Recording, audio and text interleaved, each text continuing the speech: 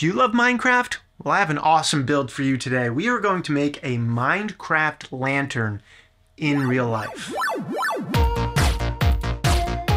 Today's project is really simple. It's a Minecraft lantern. It looks like the Minecraft lantern in the video game, but it's in real life. Shout out to Sakul on makerworld.com who uh, designed the files for this. It's been a project promoted by Bambu Labs. All the pieces, all the parts are 3D printed except for the light. The light is a $12 part that you can get from Bambu Labs. Uh, it's a really fun project, really easy to put together. I did it with my eight-year-old son, so let's get into the build. First, head over to makerworld.com. The link is below to download all the files for this print. Then follow the link to order the LED light. Then print all the files out in the correct colors. Gather all your parts together, including the LED light that you ordered. There's going to be a few tree supports you're going to need to remove, so do that before you start assembling anything. First, you're going to put together the top of the lantern with the handle. All those H-shaped connector clips go into those square holes and the pieces push in. They're a little tough. The tolerances are a bit tight, so it's a little tough for my eight-year-old to push them in. So he just needed a little help, little elbow grease from dear old dad.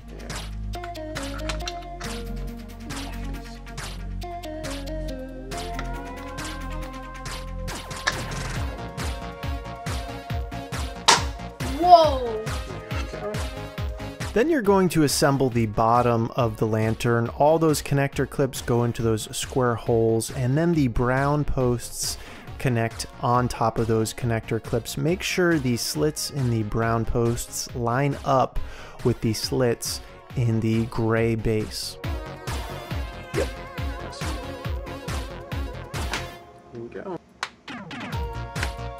Go. Then it's time to install the light source. Just press the LED disc right into that circle hole and line up the cord with that little tunnel. It's a pretty snug fit, so don't be afraid to give it some muscle and press it all the way until it stops. Then slide in all four of the yellow lampshade pieces into the slits. Make sure the flat side is facing outwards. Then put your four remaining clips in the top of the posts and fit on the top of your lantern with handle.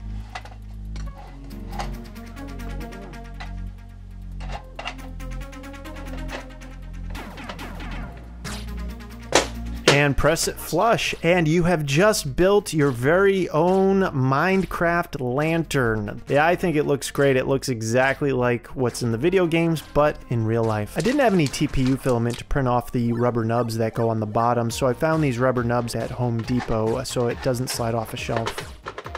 It's time to connect it to power and light up your lantern and enjoy all your hard work.